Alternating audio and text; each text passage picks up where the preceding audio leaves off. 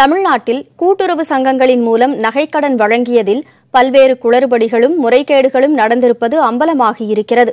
எந்த முறைகளில் இந்த முறைகேடுகள் நடைபெற்றன என்பதை பார்க்கலாம். இவ்வாண்டு மார்ச் முப்பத்தி ஒன்றாம் தேதி வரை கூட்டுறவு சங்கங்களில் ஐந்து பவுனுக்குட்பட்டு வழங்கப்பட்ட நகைக்கடன்கள் தள்ளுபடி செய்யப்படும் என முதலமைச்சர் மு ஸ்டாலின் சமீபத்தில் அறிவித்தார். இந்த அறிவிப்பை எதிர்பார்த்து பல முறைகேடுகள் முன்னரே நடைபெற்றிருப்பது தற்போது அம்பலமாகியுள்ளது.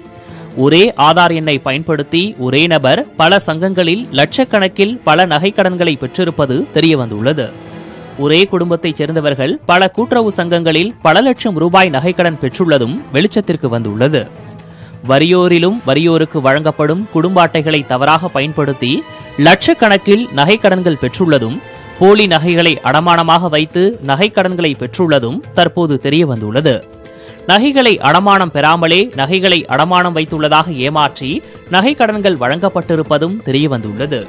ஏற்கனவே ஏற்றப்பட்ட சங்கத்தின் தீர்மானத்தில் திருத்தங்கள் அல்லது இடைச்செருகள் மூலம் சில உறுப்பினர்கள் பெயர்களை சேர்த்து நகைக்கடன்கள் வழங்கப்பட்டிருக்கின்றன.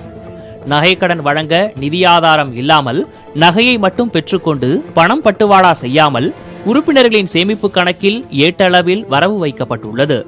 நகையை மட்டும் பெற்றுக்கொண்டு பணப்பட்டுவாடா செய்யாமல் அந்த தொகை சங்கத்தில் டெபாசிட்டுகளாக முதலீடு செய்யப்பட்டிருக்கின்றன. நகைக்கடனுக்கான எடை தரம் தூய்மை குறைவாக உள்ள நகைகள் அடமானம் வைக்கப்பட்டிருப்பதும் தெரியவந்துள்ளது. தரம் குறைவான நகைகளுக்கு வழங்க வேண்டிய கடன் தொகைக்கு கூடுதலான தொகை வழங்கப்பட்டிருப்பதும் அம்பலமாகி இருக்கிறது. கிராம் அடிப்படையில் தங்கத்திற்கு அளிக்க அனுமதிக்கப்பட்டதை விட அதிக தொகை கடனாக வழங்கப்பட்டிருப்பதும் ஆய்வுகளில் தெரிய வந்திருக்கிறது சில இடங்களில் நகைகளே இல்லாமல் ஏட்டளவில் நகைக்கடன்கள் அளிக்கப்பட்டுள்ளன. இது போன்ற முறைகேடுகளை தடுக்க எதிர்காலத்தில் மைய வங்கியியல் தீர்வு முறையிலான சேவை உள்ளிட்ட மாற்றங்கள் அவசியமாகிறது.